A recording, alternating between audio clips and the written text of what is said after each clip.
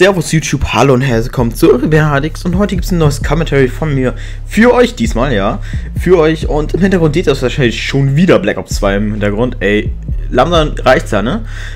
wieder auf der Map Turbine oder Turbine, je nachdem wie man es äh, nennen möchte, mit der AN94 mal wieder, aber diesmal, diesmal nicht mit der Kawaii-Tarnung, nein, mit der Zombie-Tarnung und ja, ähm...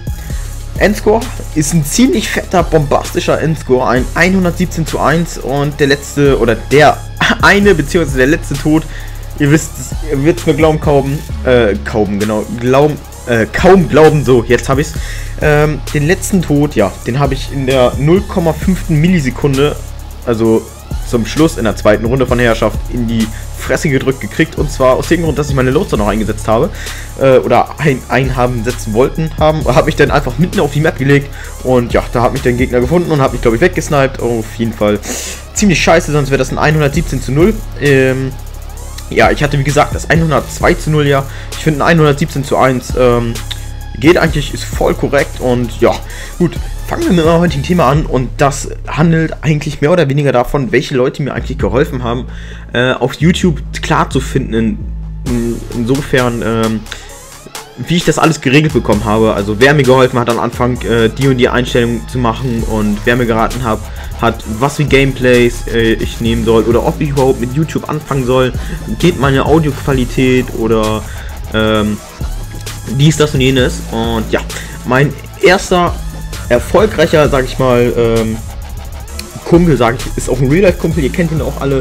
Jan Hendrik heißt der, ihr kennt ihn vielleicht von Namen nicht her, ist es mein äh, Grafikdesigner, der meine Backgrounds erstellt, meine Thumbnails, die ich jetzt leider nicht immer einsetze. Ähm, ähm, ja, auf jeden Fall, er hat mir, wie gesagt, ganzen Backgrounds gemacht. Ich glaube, jetzt insgesamt vier Stück sind das. Davon sind zwei preisgegeben. Einmal der ähm, normale Background von den alten YouTube-Channel und dem von jetzt, also der Banner.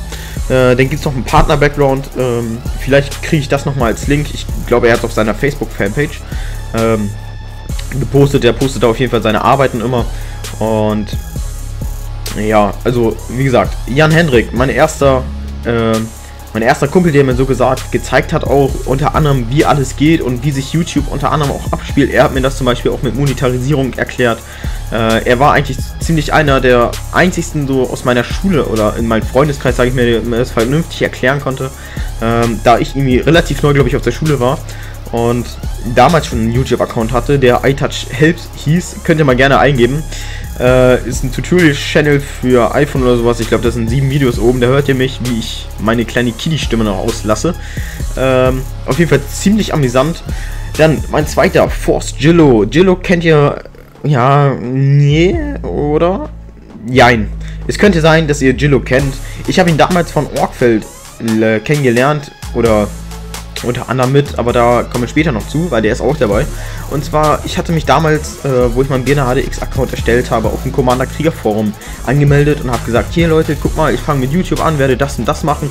Habt ihr mal Bock, ein Abo da zu lassen, so nach dem Motto. Ähm, ich kann es eigentlich nur jedem empfehlen, weil das Commander Krieger Forum einfach, ist einfach gut, weil da gucken 100 Leute drauf, die sagen dir, was du machen kannst auf YouTube. Äh, also es geht auch, wenn du schon YouTuber bist, sagen wir mal, du kannst da sagen, hier, gib mal Verbesserungsvorschläge. Da kommen auch keine dummen Kommentare so wirklich äh, mit, hör auf mit YouTube oder sowas, das kommt da gar nicht. Ähm, weil da auch vernünftige Admin sind, die dann auch sagen, ja hier, kriegst gleich einen Block in die Fresse und gut ist. So nach dem Motto. Ähm, Entschuldigung. Auf jeden Fall, Vorstellung habe ich damals da kennengelernt. Er hat mir auch meinen ersten, ähm, ja, meine ersten Abonnenten hatte mir, glaube ich, sogar gebracht. Er hat mich, sage ich mal, mit unterstützt auf dem Commander Krieger Forum. Äh, hat gesagt, ja Leute, schaut mal wirklich vorbei. Der kann echt was, der hat auch gute Gameplays. Kommen wir nachher auch noch zu sprechen. Und ganz herzlichen Dank an dich hier, Gillo, falls du das Video noch guckst. Ich weiß leider nicht, was sein heutiger Kanal ist, weil er hatte schon zwischendurch zweimal einen neuen oder einmal einen Kanal aufgemacht. Ich glaube, der hat Ace äh, Awesome Matches oder sowas hieß der. Ich weiß es nicht. Ich weiß es wirklich nicht. Äh, daher kein Link in der Beschreibung. Sein alter Kanal, da macht er auch nichts mehr drauf. Ich glaube, er ist jetzt generell inaktiv. Ich weiß nicht mal, ob er tot ist oder ob er noch lebt. weil irgendwie auf YouTube macht er gar nichts mehr. Aber ich meine, er hat ja auch, also ich meine, er hat seinen Abschluss gemacht oder sowas. Und seitdem habe ich auch nichts mehr von ihm gehört. Also vor circa drei Monaten war das letzte Mal, ähm, dass ich was von ihm gehört habe. Eigentlich ziemlich schade, ähm, da er mir eigentlich viel geholfen hat. Genauso wie Gamer-Tanten. Ihr könnt euch vielleicht erinnern, meine ersten Abonnenten, Duel mit Gamer-Tanten, ähm, macht leider auch kein YouTube mehr, hat auch glaube ich, um die, an das 68 Abonnenten oder 38, ich weiß es nicht, irgendwie so um den Dreh. Ähm, auf jeden Fall hat auf PC oder auf Laptop er gespielt, hat viel mit ihm damals geskypt, hat ihn um Ratschläge gefragt, ja, wie machst du das und äh, dies, das und jenes, erklär mir äh, bitte Sony Vegas, mehr oder weniger hat er mir das auch beigebracht, unter anderem, äh, wie man was schneidet oder sowas. Viele habe ich mir auch selbst beigebracht, aber so, so Kleinigkeiten, wie, äh, wie schneide ich, ähm, na gut, äh, ja doch, oder wie packe ich Musik unter, oder wie finde ich die vernünftigen Rendereinstellungen, oder ja, was, oder, oder, oder. Inhalt dies, das und jenes, und zwar äh, ja, ziemlich. Er hat es mir auch ziemlich genau erklärt, also auch nochmal ein guter Kumpel.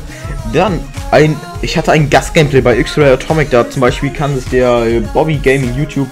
Ähm, daher kannte ich ihn oder er kannte mich. Ich glaube, er hat mich damals angeschrieben bei YouTube äh, oder hat mich abonniert, keine Ahnung. Auf jeden Fall habe ich ihn dann angeschrieben, ob ich ihn adden kann bei PSN. Äh, sein Kanal ist auf jeden Fall unten in der Beschreibung.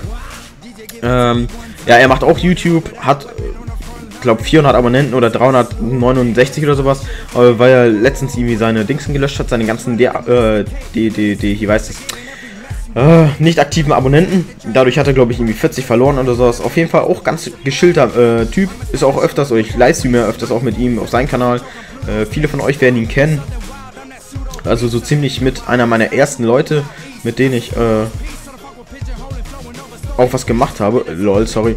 Aber, mit dem ich was gemacht habe, ist ja auch egal. Also wie gesagt, X-Ray Atomic ein Gast-Gameplay, ich glaube das hat heutzutage, also heutzutage, was heißt das? Ich glaube das hat 800 Videoaufrufe, ich habe mich da jetzt nicht genau informiert. Ähm, da hatte ich ein Dome-Gameplay war das und ich meine, er hat da über die diese Pferdegeschichte mit Pferde, Pferdewurst hat er sich drüber lustig gemacht. Ein Thema gemacht, sage ich, äh, ja, hat er drüber Thema gemacht über Pferdegeschichte und sowas.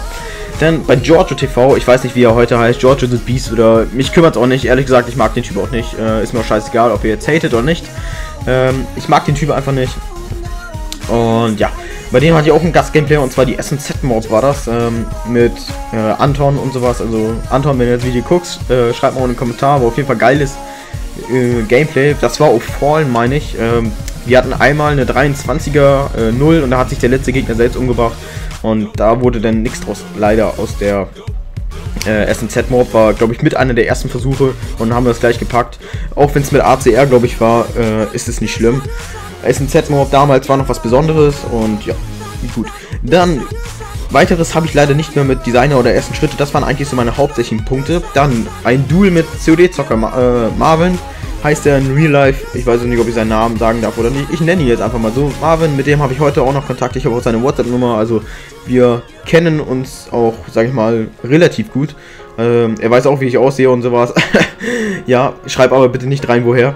Ähm, ja, mit dem schreibe ich noch ab und an, frag ihn auch nochmal was. Er hat jetzt auch seine 1,6k mittlerweile. Geht auch ziemlich flott bei ihm ran, muss ich sagen. Also ich beneide ihn darum. Er kriegt irgendwie pro Tag locker seine 20 Abonnenten, manchmal habe ich das Gefühl. Und ja, dann hatte ich noch ein Duel mit Birdie, das über I Love Cookies, das ist dann noch nicht ganz so alt. Ich glaube, vor einem Monat, anderthalb Monaten war das ungefähr. Äh, mit Birdie habe ich jetzt gar keinen Kontakt so eigentlich mehr wirklich. Eigentlich mehr wirklich, was wie in Deutsch. Ähm, keine Ahnung. Pff ich weiß nicht wieso, ob das eine einmalige Sache war mit dem Duel oder sowas. Ich weiß es nicht. Ähm, dann hatte ich noch ein Duel mit Orkfell. Ein Duel mit Orkfell, ich glaube, das war auf seinem Kanal. Das war ein 20-Minuten-Video über die PS4, glaube ich, mit ihm. Das war noch, Entschuldigung, das war noch ziemlich am Anfang, womit ich ihn darüber gelabert habe, äh, wie das denn alles aussehen könnte, dies, das und jenes. Ein paar Informationen gekloppt und sowas. Und ja, dann war es das jetzt erstmal mit meinen Leuten, die mir so geholfen haben. Also ihr seht, ich hatte drei Leute, die mir beim, äh, bei den ersten Sachen geholfen haben. Also ganz wichtig, ihr braucht von Anfang an braucht ihr einen Designer, der euch einen Kanal Banner erstellt oder unter äh, oder was anderes.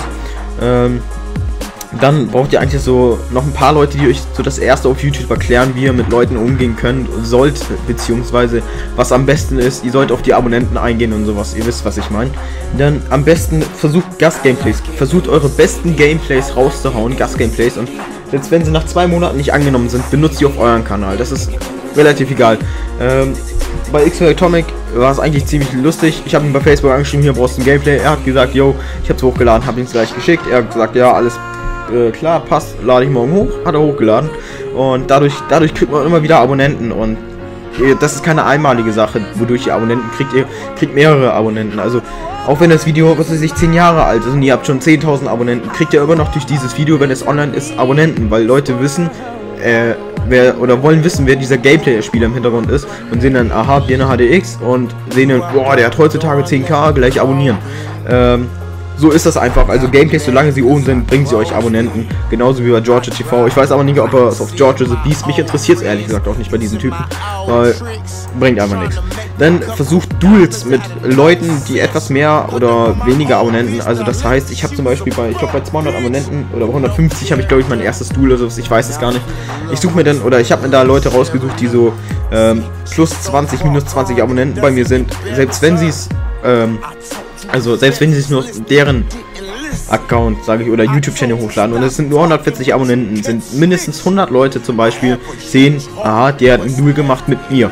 Die denken sich, hm, ja, kann ich auf meinen Kanal gehen. Er sieht Videos oder die sehen Videos von euch und er kriegt wieder Abonnenten. So läuft das Ganze auf YouTube so gesagt eigentlich. Ähm, und so wird es auch sein eigentlich. Also mit jedem, den ihr Duel macht, ihr müsst einfach die Konsequenzen, Konsequenzen daraus ziehen, sage ich mal, was später damit wird.